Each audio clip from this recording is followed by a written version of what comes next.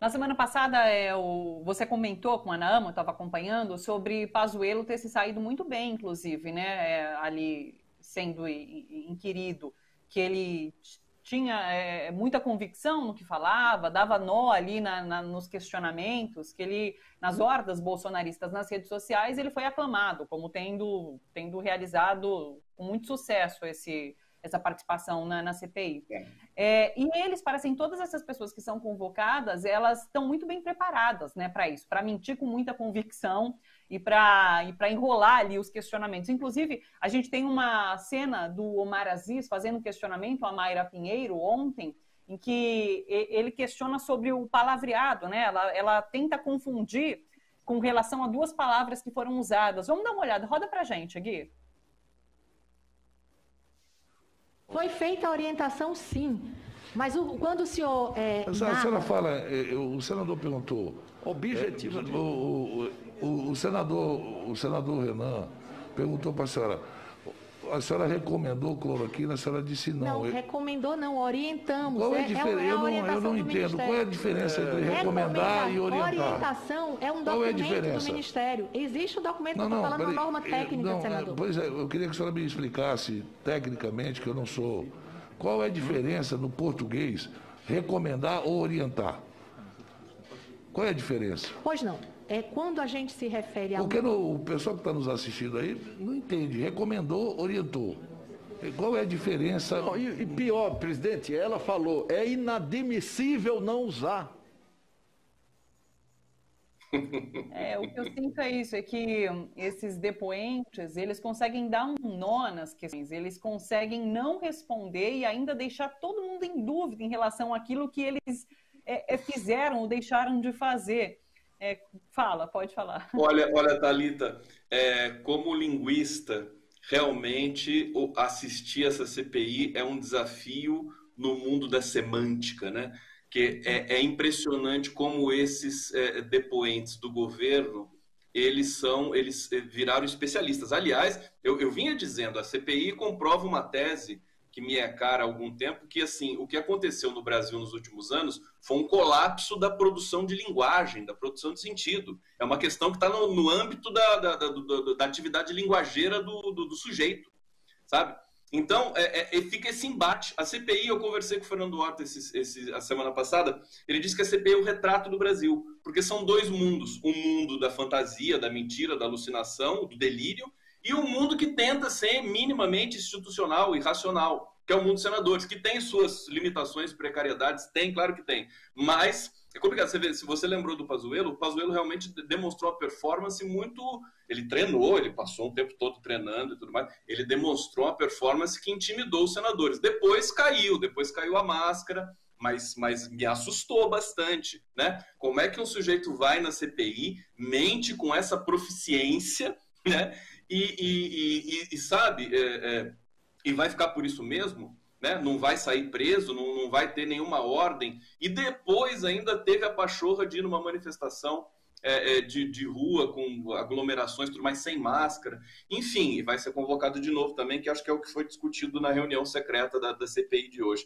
Eu acho que é um desafio, viu, Thalita? Sinceramente, o, o Renan Calheiros disse no momento que iria fazer checagem em tempo real das mentiras que iam sendo contadas ali. Não sei se ele levou isso a cabo, mas a, a CPI também, como aliás os, os núcleos partidários, político-partidários brasileiros, precisavam de consultoria de especialistas em estudos de linguagem, porque a coisa virou. A coisa não é simplesmente mais mentir ou falar a verdade. Ela virou dentro e é preciso é, dentro da questão da produção do sentido. Precisa conhecer tecnicamente como é que se quebra uma pessoa que mente com a proficiência do senador, do, do, do, do general Pazuello, naquele momento. Então precisa, de, precisa fazer recurso, criar recurso para isso.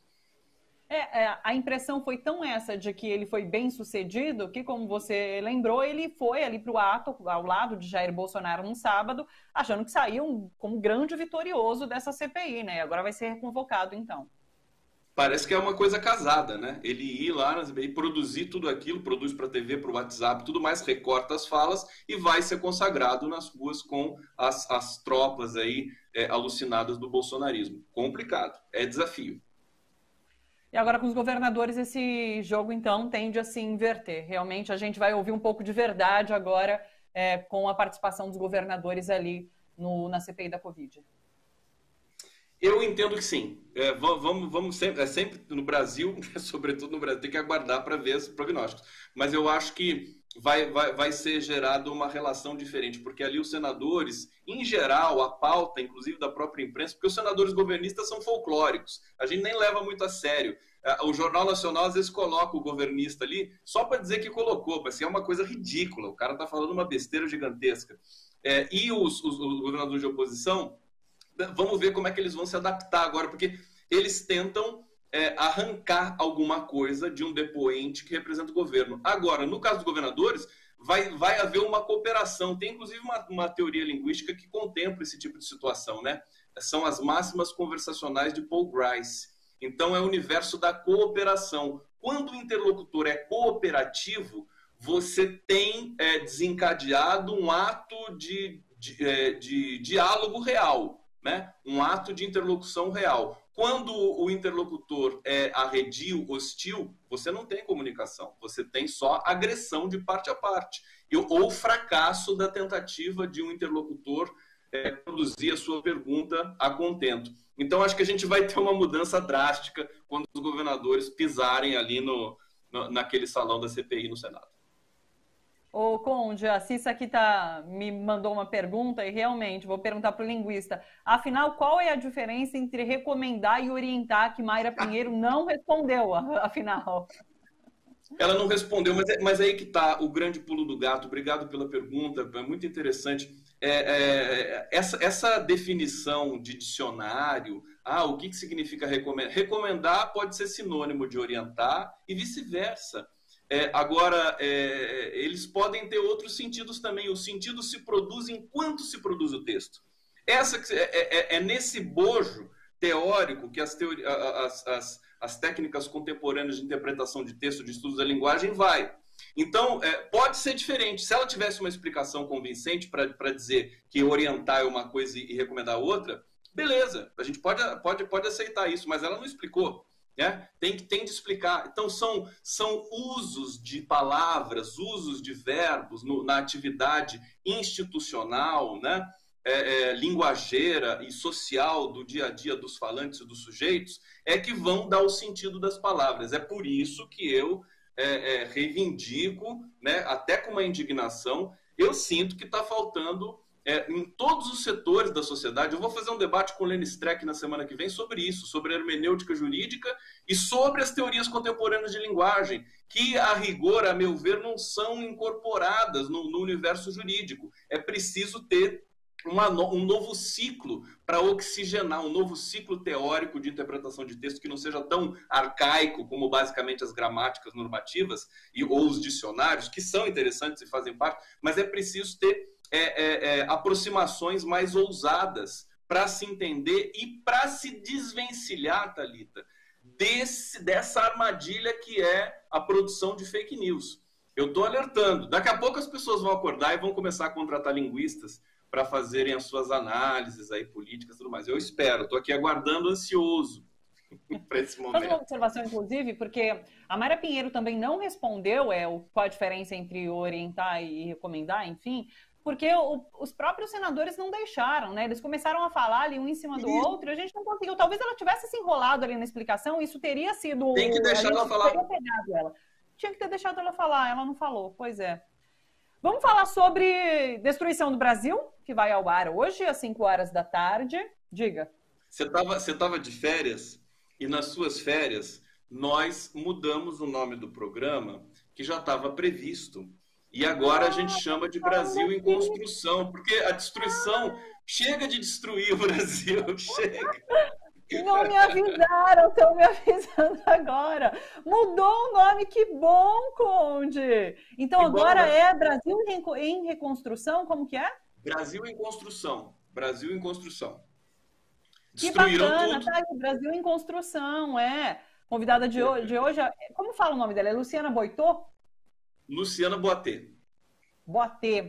É, é, uma, é uma super advogada, né, professora da UFRJ, e, e com ela que você Isso. conversa hoje sobre a, a, a, construção, a reconstrução do Brasil, né?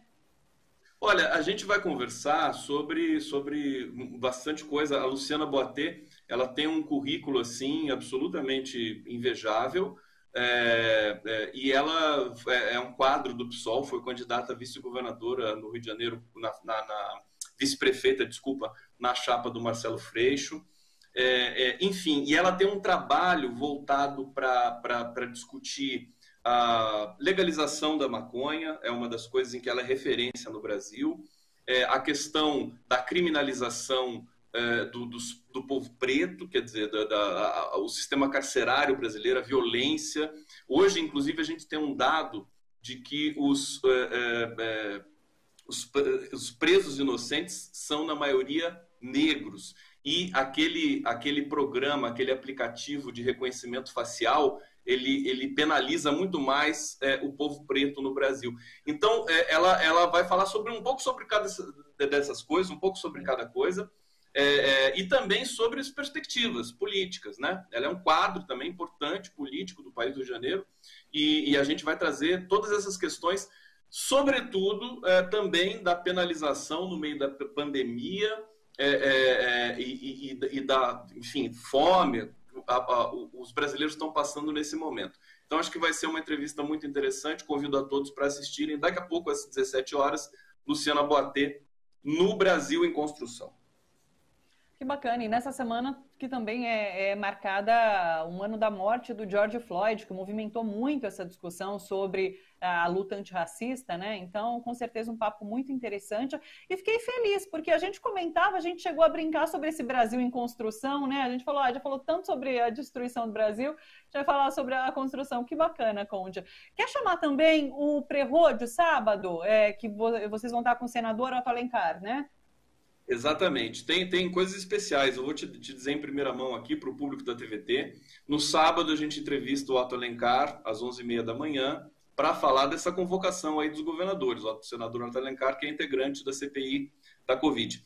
E no final de semana, Talita, eu estou desenvolvendo aqui uma série com a TVT, cultural, e no sábado eu entrevisto o cineasta, poeta, uma figura fantástica, Felipe Nepomuceno, às 18 horas e no domingo, uma live especialíssima com Márcio Borges, irmão do Lô Borges, compositor é, de uma das da, da, do, dos mais é, aclamados cancioneiros brasileiros, que é o cancioneiro do Clube da Esquina.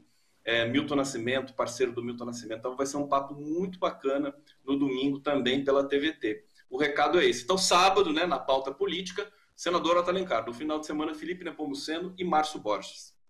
Que bacana, quanta novidade. Poxa, que bom, né? Fiquei um mês fora e, e voltei cheio das novidades. Que bom.